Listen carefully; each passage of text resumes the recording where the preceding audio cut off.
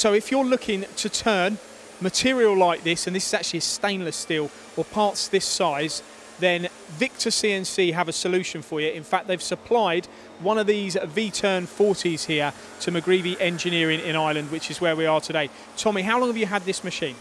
Uh, we've had it over three years now. And the particular parts that Ian just looked at there on camera, are they for the, what, what sort of industry? They were for the oil industry, very, very tight tolerances, uh, and we bought the Victor with them in mind. There's a lot of metal to be removed on those as well, isn't there? Yeah, quite a bit of metal. Um, we usually buy it in as tube, you know, so it comes in with about 10 or 15 millimeter on the diameter and 10 15 millimeters on the bore. But the fact that it's stainless steel, the parts that you're looking at are actually quite small. Some of the other parts were over a half a meter till a meter long, you know. The, Vic, the Victor machine, this was your first Victor lathe, and that says something because there's lots of turning centres lathes in the marketplace that are, are available with with a, a two metre bed or a 2.2 metre bed length like this. Why did they get the order from you guys? Um, we got the uh, we got the Victor because at, that, at the time whenever we bought it, it was the best on the market. Price range, capacity, everything. It just suited our needs. Did, did the build quality come into it? Because we look at a lot of Victors and people go, actually, it's down to how heavy they are. It's down to them, uh, you know, the machine not vibrating when you're doing parts like this, and, and a machine that's going to last many, many years doing high quality work.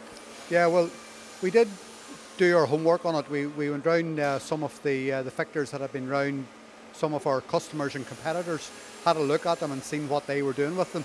And um, as I say, this, this one here, the rigidity and everything seemed to be the best machine for the job. Tell me about the, the, the, turret on this. How many tools can you get? And it, you haven't got driven tools, have you? Uh, no, there's no driven tools in this here. Uh, 12, I think, is the, uh, the capacity on the. And why did you just go for a straight turning machine without any milling function? I know these parts are straight turning, but some of the other stuff I've seen does have, have milled flats and, and milling op operations on it. Well, we already have quite a few machines in the factory. We have got mill turns in it.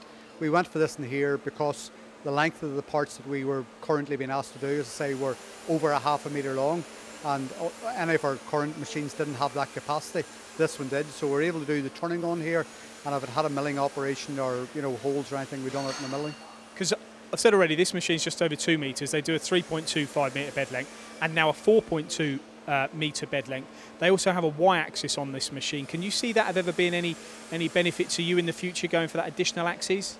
Um, if we get the turning work, yeah. At the minute, we don't have any requirement for it, but um, some of the work that we've done in the past, if it had uh, C axes or anything on it, yeah, it would certainly be a benefit, yeah. And do you know, I, I might trip you up here, but what's, what's the chuck size on this? 400 millimetres chuck, yeah. Okay. Quite a big chuck.